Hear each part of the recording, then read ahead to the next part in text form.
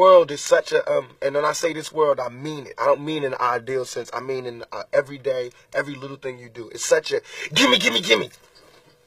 Everybody back off. You know, everybody's like you taught that from school, everywhere. Big business. If you want to be successful, you want to be like Trump. Gimme, gimme, gimme. Push, push, push, push. Step, step, step. Crush, crush, crush.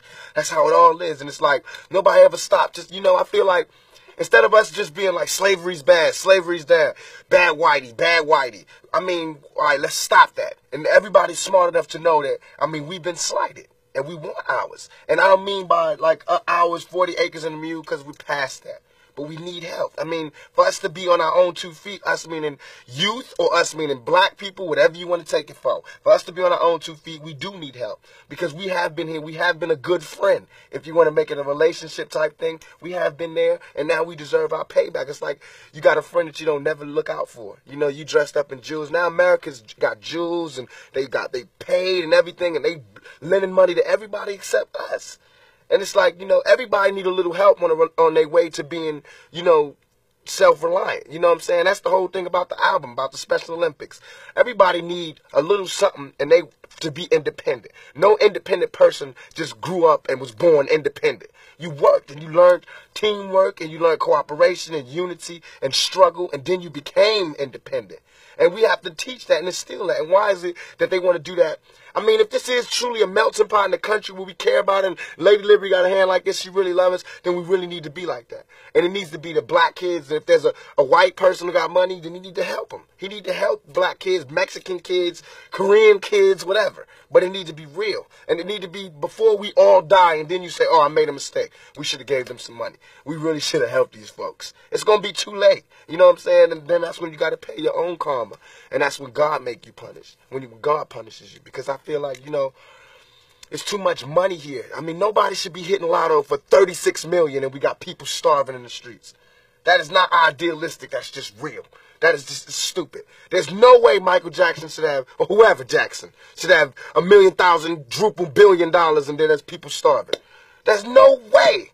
There's no way that these people should own planes and their people don't have houses, apartments, shacks, drawers, pants. We say to people that say, well, they earned it. Now you go out and you're earned it. If they earned it, then I then I think that that's good, and I, I think that they deserve it. But even if you earned it, you still owe.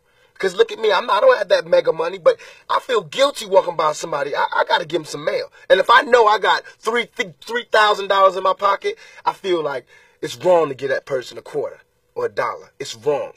Only you know what you got in your pocket. And that's wrong. No matter what they do, if they take it and drink it, they take it and drink it. But I mean, you got. You understand? And we all know how hard it is, and it's not about if you good or you bad. So since it's not about if you good or you bad, we know that because he don't got don't mean he was bad. Or don't mean he's a criminal, or don't mean he's crazy, or a drug addict, or none of that. It just means he don't got. And ain't it bad that you got 30 I mean, can you imagine somebody having $32 million? 32. $32 million. And this person has nothing. And you can sleep. You can still go to the movies about, I mean, I mean, and then these, these are the type of people that get humanitarian awards. Millionaires. How can they be humanitarians by the fact that they millionaires and there's so many poor people shows how unhumane they are. You know what I'm saying? And that, that bugs me. Not saying that when I'm never going to be rich, and I'm never, you know what I'm saying? But I'm saying it's a struggle, and I think everybody deserves. And I think there's a way to pay these people. I think there is a way. It just takes to be revolutionary. And it takes to, to do something out of the ordinary. You know what I'm saying? Like, I think that if we just said, okay, okay, okay, okay, I got an idea. No more porno buildings. You know what I'm saying? Let's build houses. Or no more polo games. Let's build houses for poor people. You know what I'm saying? Or look, okay, I know you're rich. I know you got 40 billion dollars, but can you just keep it to one house? You only need one house. And if you only got two kids, can you just keep it to two rooms? I mean, why have 52 rooms and you there's somebody with no room? It just don't make sense to me. It don't. And then these people celebrate Christmas. They got big trees, huge trees, all the little trimmings. Everybody got gifts, and then somebody's starving. And they're having a white Christmas. They're having a great Christmas, eggnog and the whole nine. That's not fair to me.